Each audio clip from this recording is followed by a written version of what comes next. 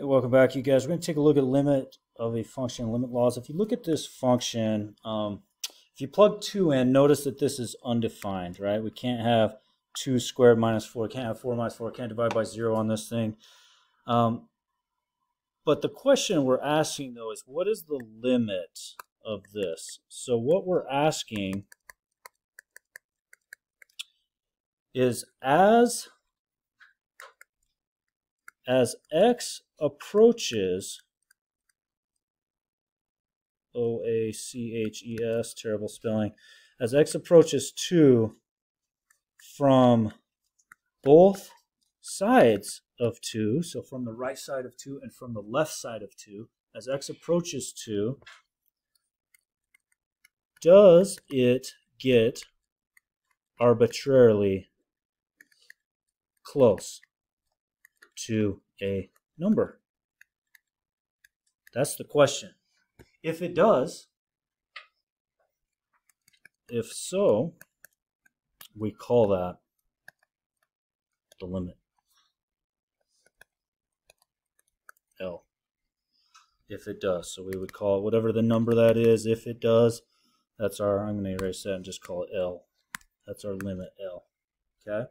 Now for this one, we can't just plug it in, obviously, um, because this one's got a hole there, right? It's undefined at 2. And so what we're going to do is we're going to look at a table of values for this function, and we're going to look at if we plug in values from the right. So let me let's pull up Desmos together. desmos.com.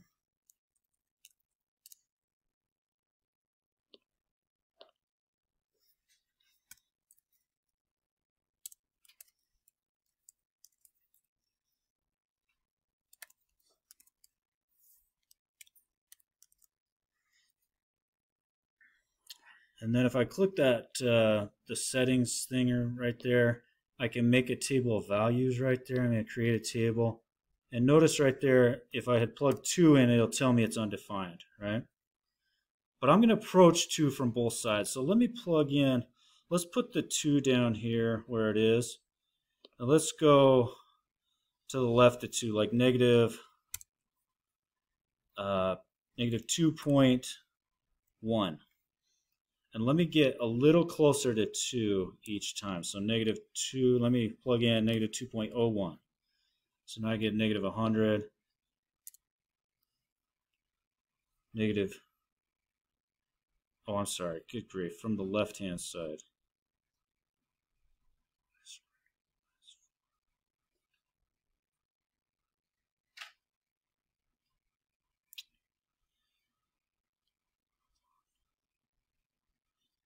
I'm approaching two. Gosh, I screwed this up. Hold up, you guys. Not negative two. Sorry about that. I'm approaching two. So from the left side of two would be like uh, 1.9. Let's get a little closer to 2. So 1.99. Let's get a little closer to 2. 1.999 a little bit closer to 2, 1.9999. Now let's go to the right.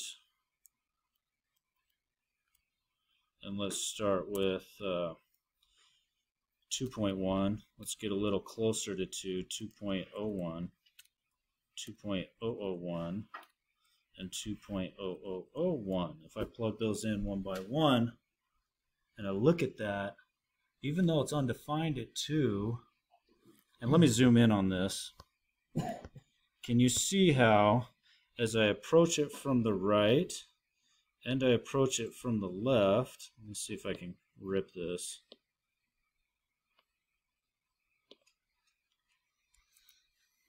So I can draw on it. Maybe. It's not going to let me. There we go. No. No.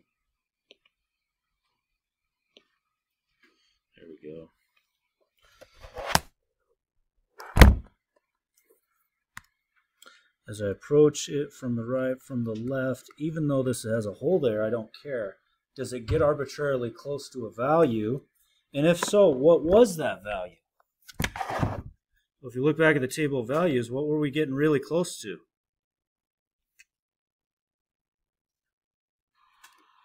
So hopefully you can see from our uh, table of values that I'm getting closer and closer and closer to a y value of 1 fourth, 0.25 right? 0.25, right there. So this limit is 0.25 because I'm getting arbitrarily close to it. So the limit as x goes to 2, even though the function is not defined at 2, we don't care. We're getting close to a y value of 1 fourth, 0.25. We're getting arbitrarily close to it. Okay? Now, the question is, since we can't just um, plug it in because it's undefined, can we algebraically solve for the limit? Yes, you can. So if you remember from your uh, pre-calculus course, if you factored this, x minus 2 over x squared minus 4, so we factor the bottom. Now this is a different function, but it behaves like, so this function behaves like 1 over x plus 2. The only difference is it doesn't have a hole there. It's defined there. That's the only difference. The two graphs are the exact same. The first one, un, the unsimplified form, has a hole. This, this one does not have a hole. So since it does not have a hole and it is continuous, I could just plug the 2 in. Let's let x be 2 now. And I get it. It's 1 fourth. Okay? So when you're going to solve, table of values is very helpful. Um, but algebraically, you should be able to solve most, if not all of these, okay, as well. And that's one approach. Let's look at these graphically for this one. Here's a different function. The limit as x goes to 2 of this function. So as I approach, 1, 2, this is 2, right? As I approach 2 from the right, as I approach it from the right, what value is that? What y value is that? 1, yeah. But as I approach it from the left down here, what's the y value down there? Negative 1. Do they agree? No, there's that big gap there. They don't get arbitrarily close to anything. They have to agree from both sides to have a limit. So limit does not exist. And we move on. Okay. Again, you have to have, even if there's a hole there, as you approach, oops, as you approach, you have to agree. See how they both agree on that one? They both agree on the y value that they're going to, even though it's undefined there. How about this one? The limit as x goes to 3. Let's go ahead and look at uh, an x value of 3 is right here. And I do have a, a vertical asymptote there. So as I approach 3 from the right, what's it doing? Going up. Good. So it's going up, shoots me up to infinity, right? Shooting up to infinity. And from the left? Negative. Yeah, negative infinity. Okay. Does the limit exist? No, limit does not exist. Yeah. So if you if you shoot to anything, again, it's got to get arbitrarily close to a value, to a y value. It has to get close. They have to agree from both sides. Now, if I would have asked you this instead, let's go the limit as x approaches 5 of this same function. Now, that's a different question, right? As we approach 5. Let's approach 5 from the left. Okay, it goes to that y value, whatever it is. And let's approach x being 5 from the left. I'm sorry, from the right was in the blue, from the left is in the red. Do they agree on a y value? Yes, yes they do. So whatever that y value is, let's say it's a half. I don't know what it is because I don't have the function. But I would say, oh, the limit's a half, if it is a half, right, for this function. Again, I don't have the function listed. Let's go ahead and let's look at this one here. Limit as x goes to 3. So from the right, what's it doing? Yeah, from the left, what's it doing? Yeah, so the limit actually does not exist again. Exactly, because it doesn't get arbitrarily close to value functional value. Right? Uh, and by the way, we will examine this further in a later section. We'll talk about infinite limits, uh, but we'll leave that alone for a bit. All right, let's look at this one. Number one, does the functional value exist? What is f of 1? If 1 is 3, there's our functional value. Now let's answer this. What's the limit as x goes to 1? So from the right, it looks like it's approaching what y value? 4. Yeah, it looks like from the left, it's approaching what y value? 2. Do they agree? No. So it does not exist, right? It does not exist. Can't have that gap there for they don't they have to get arbitrarily close to the same y value. How about as we approach negative one? So negative one's over here left, right? From the if I, as I approach negative one from the right, what's the y value it's approaching? Zero. As I approach it from the left, what's the y value that you're approaching? Zero. Do they agree? Yeah, so what's the limit? Zero. So make a note of all these uh, rules here. We'll go ahead and use some of these. Let's look at this first one here. The limit is x goes to 5 of 2x squared plus 7. so um, I'm going to do this as an overall first, and then we'll go ahead and use the properties. If I think about 2x squared plus 7, that's a polynomial, right? What do you know about polynomials?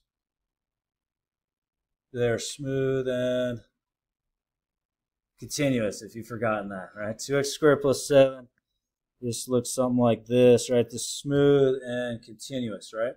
I have no breaks in no problems, no issues. So could I just plug the 5 in? The functional value should be the limit as well, right? Has no problems with this. I can just plug it in. So limit x goes to 5 of 2 times 5 squared plus 7. And that's because it's smooth and continuous. It's nice. So 2 times uh, 5 squared, 25. So 50 plus 7, so 57 on that. Now, if you're doing it with the limit properties, you could just split it up. Limit as x goes to 5 of 2x squared plus limit as x goes to 5 of 7 and then you could just go ahead and plug it in like that. Plus limit as x goes to 5. If you think about y equaling 7, when you're approaching that, it's still 7, right? Even when you approach 5 from both sides of that horizontal line. So either way, it ends up being 57. Probably easier just to do it all at once. All right, how about this one? 3x squared minus x plus 2. If I'm thinking about uh, x 3x squared minus x plus 2, I look at the denominator, I'm just thinking to myself, well, it's not defined at negative 2. But other than that, I should be fine. It'll be defined everywhere else, right? So if I plug the 2 in, I could just substitute that in and I won't have any issues. So let's go ahead and just plug it in.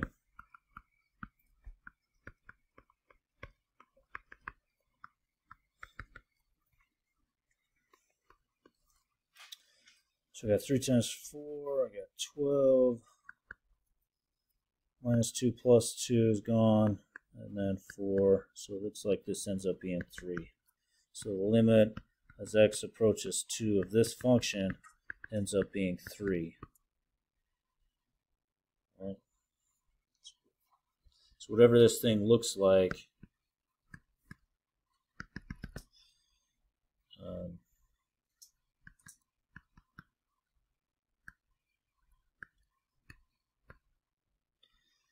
as we approach 2 from the right side and from the left side, they both agree that the functional, that uh, they approach a y value of 3. They're getting arbitrarily close to 3. Okay? All right, let's keep going here. Notice if I plug in negative 3, what's going to happen here? Yeah, guys, you're on the bottom. So, yeah, so it's going to be undefined, right? So we say, hey, if that happens, what are we going to do? Uh, we could, yeah, absolutely. We could do a table of values. You could do a table of values. It's kind of tedious is the only problem with the table of values, right? Remember, you have just a basic scientific calculator on your exam. So I would go to algebraically solving this and I'd say, well, this x plus this function behaves like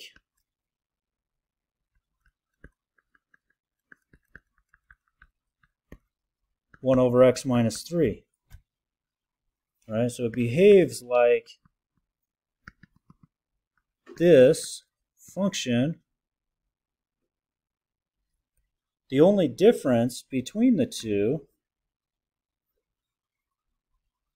is uh, this one doesn't have a hole there at negative 3.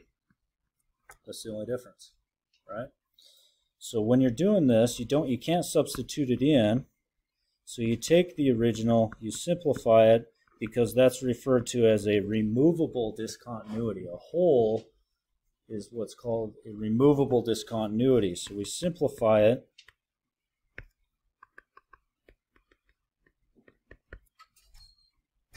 Oops, that's plus 3.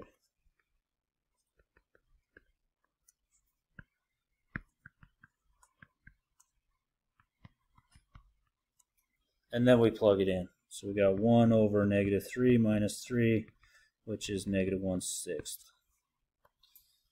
And that's our uh, limit. It's approaching, as I approach negative 3 from both sides, it's getting arbitrarily close to a y value of negative 1 sixth. Right? Even though it wasn't actually defined there, even though it had a hole there, right? Still has a limit still getting arbitrarily close to that. I'm going to make this a you try it problem. So why don't you scratch this out and then we'll go ahead and put the answer up here. But go ahead and try this one. Should, should get your limit being a half on that one. So again, as you approach 4 from both sides, and as you approach 4 from both sides of that x value, you get arbitrarily close to 1 half as the y. Let's move on. Can we plug in 3 here? Do you have any issues plugging it in? Square root of 4 over negative 1. Hey, that's okay. I got 2 over negative 1. So negative 2. Our limit there. It's just negative 2. No problem. It's just the same as its functional value there. Let's move on. Let's look at about negative 31. Can I plug that in?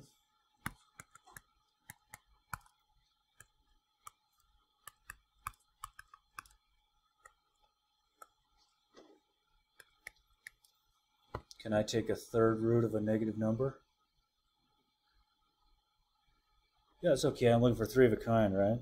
In other words, if the third root, if a equals the third root of b, that means a to the third equals b. For example, negative 2 is the third root of negative 8 because negative 2 to the third is negative 8. You with me on this? Uh, I'm giving you the formal definition on here. I just like to break it down. I say, well, I'm looking for 3 of a kind. Negative 27 is negative 3, times negative 3, times negative 3. There it is. There's 3 of a kind. The third root of negative 27 is negative 3. So the limit as x goes to negative 31 of the third root of x plus 4 is negative 3. No problems there. Can't take an even root of a negative number, right? We're not working we're not working it with imaginary numbers in this course. We're working with the real numbers. Yeah. All right, how about this one? Can I plug the zero in? No. Okay. Uh, can I factor this? Does that help us? Nope. So we're kind of stuck. So here's another alternate algebraic approach is you can multiply by the conjugate.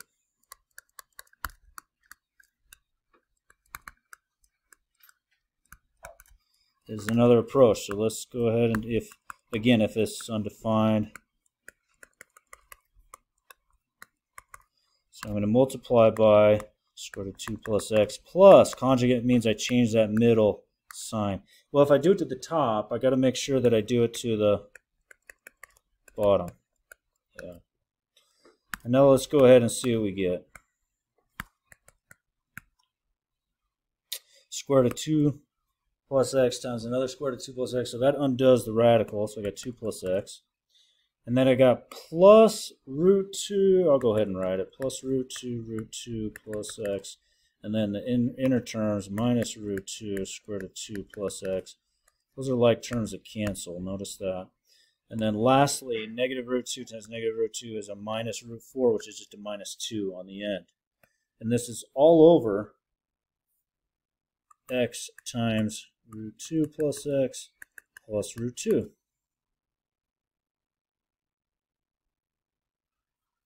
Notice your 2 minus 2, that those cancel, all right? So I'm left with, on the top, I have an x over an x root 2 plus x plus root 2. Now this is what I wanted. I wanted those to cancel. Because remember, I can't throw 0 in for x until I get rid of that dang x on the bottom that's causing all my problems, right? So I'm left with now another function that behaves the same, but it doesn't have a hole there. So I got rid of my removable discontinuity. It's referred to as, right? So I can just plug a zero in. So I got 1 over root 2 plus root 2, 1 over 2 root 2. And I guess I should rationalize that. Let's go ahead and be proper about it.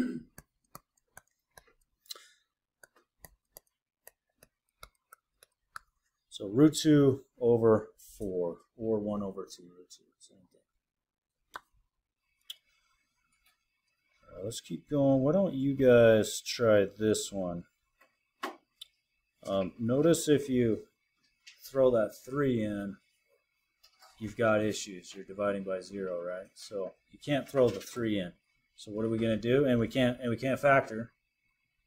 So we're going to multiply by the conjugate. Go ahead try that and then we'll so if you get to this point, hopefully you notice before, instead of distributing the x through to both terms and the negative 3 to both terms, what you're wanting is you're wanting to get rid of that x minus 3 because that x minus 3 on the bottom is causing all the problems, right?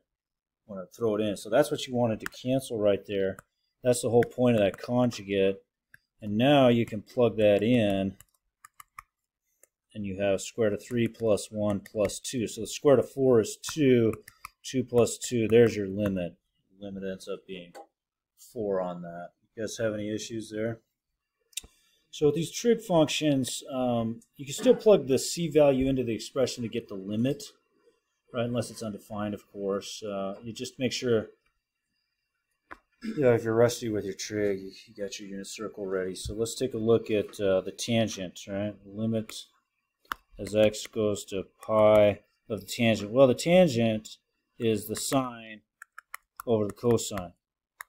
So if you're looking on your unit circle, right, if I rotate pi amount, I'm right there on my unit circle, negative 1, 0. So the sine of pi is 0, cosine of pi is negative 1. So this just ends up being 0. The limit as x goes to pi of the tangent of x is 0, right?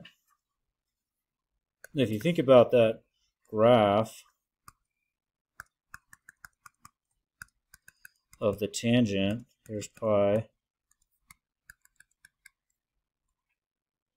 If you think about it, from the right, as you approach pi, from the right, you're approaching 0. From the left, you're approaching 0, aren't you? So the limit as x goes to pi of the tangent function is 0. We just did it uh, by plugging it in there. Let's go ahead and plug in similarly for this one as we go to pi 6, right, well, so 3 times pi 6, oops, cosine of that, sorry about that. So we got cosine of 3 pi 6. Well, 3 pi 6 is pi halves. So now I'm just thinking about, so well, what's the cosine of pi halves? And I would say 0, right? We know the cosine of pi halves, cosine at 90 degrees is 0, the x value there.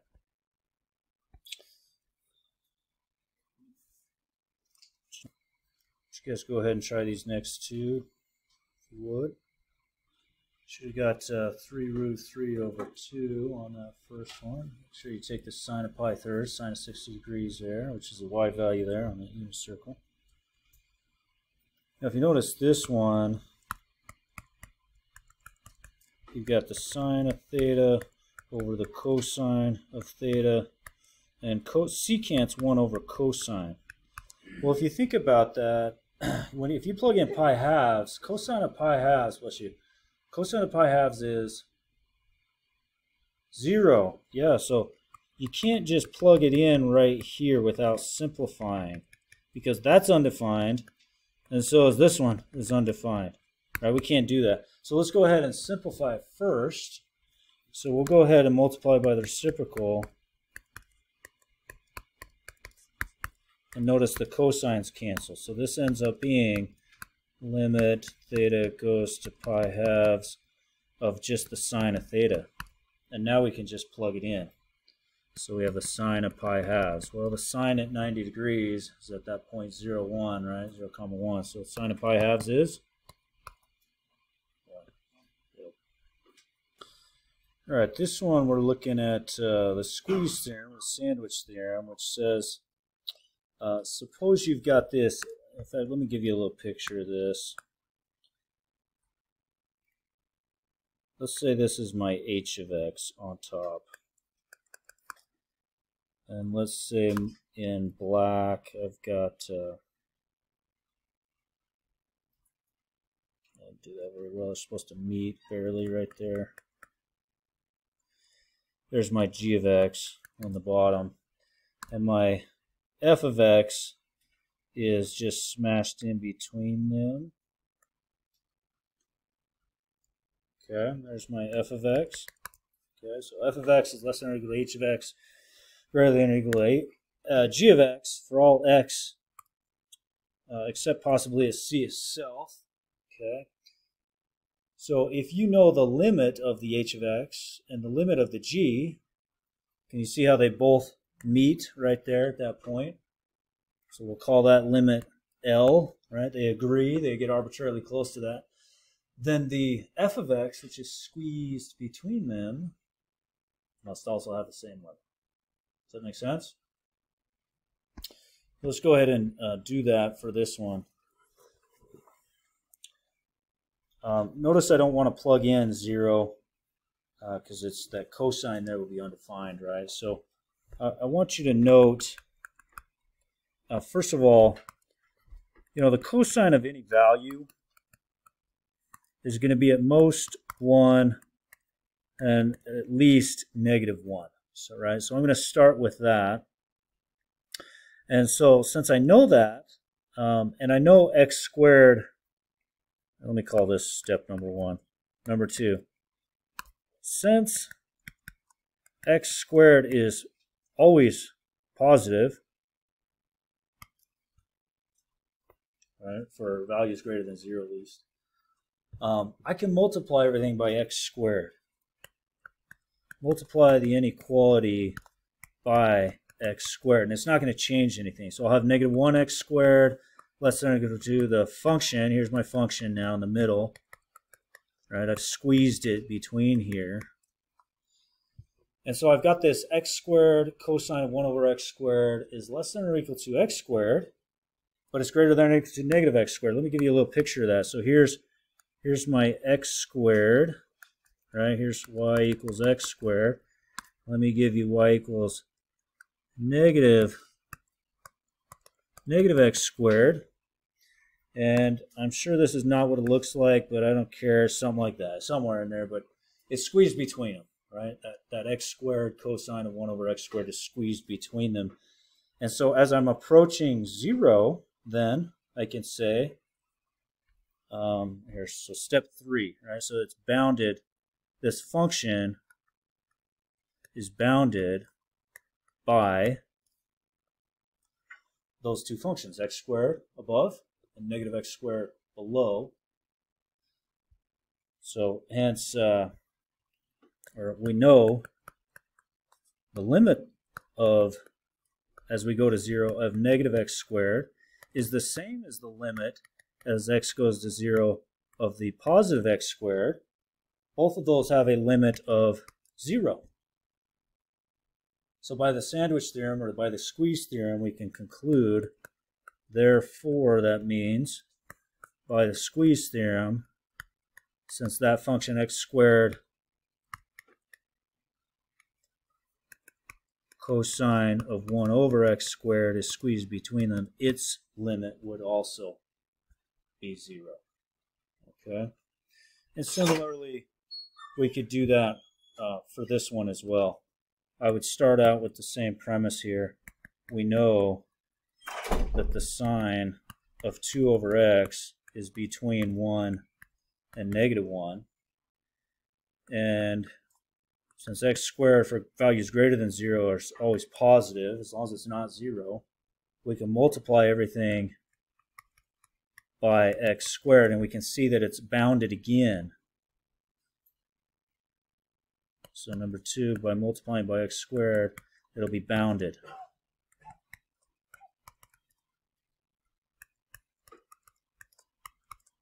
It'll be bounded on the right by x squared, bounded on the left by that negative x squared.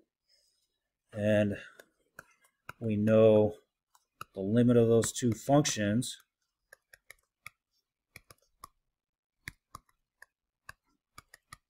is 0.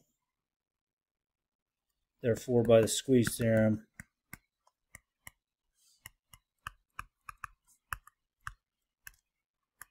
limit Oh, I'm sorry, guys. This is x to the fourth. Ah, just makes no difference because it's still positive. Sorry about that. Uh, change that. Sorry about that.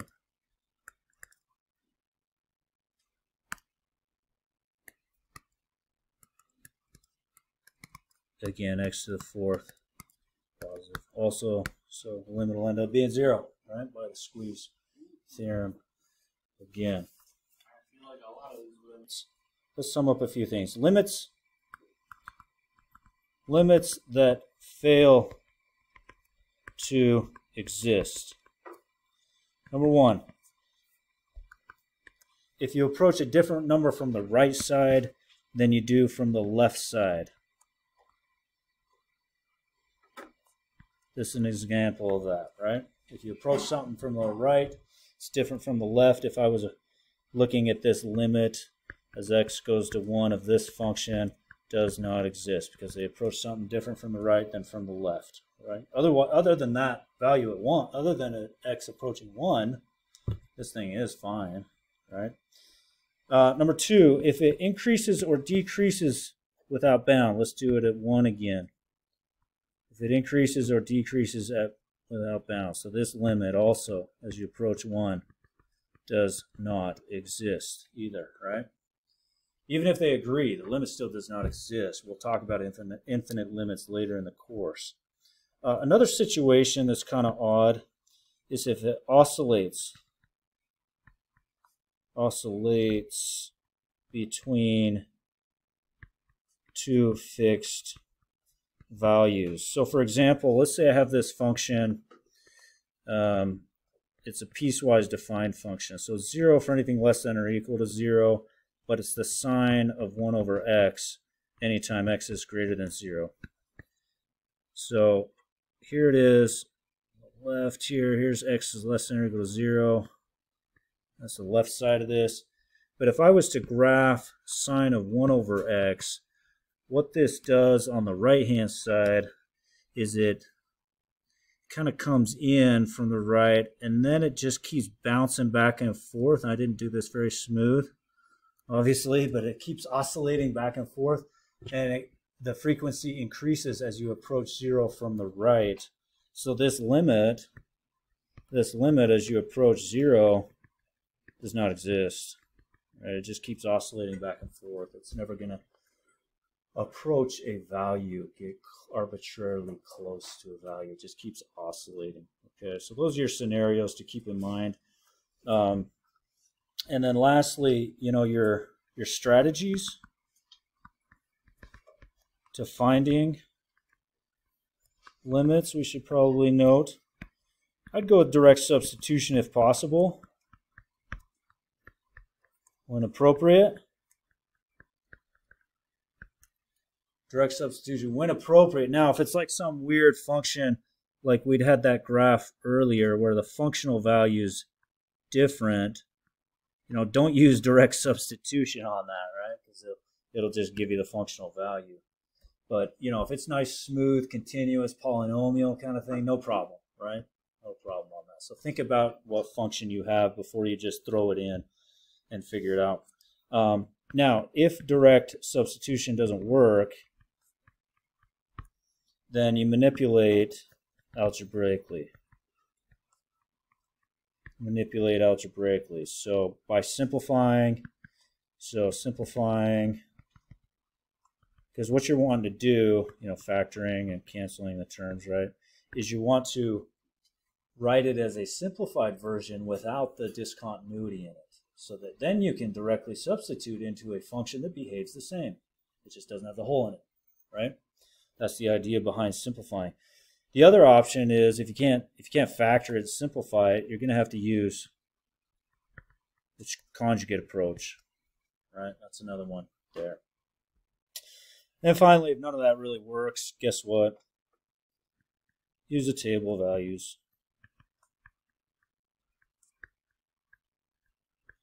to reinforce. This should always this should always be done to reinforce your conclusions anyways. And that helps. Thanks so much for watching. See you guys next time.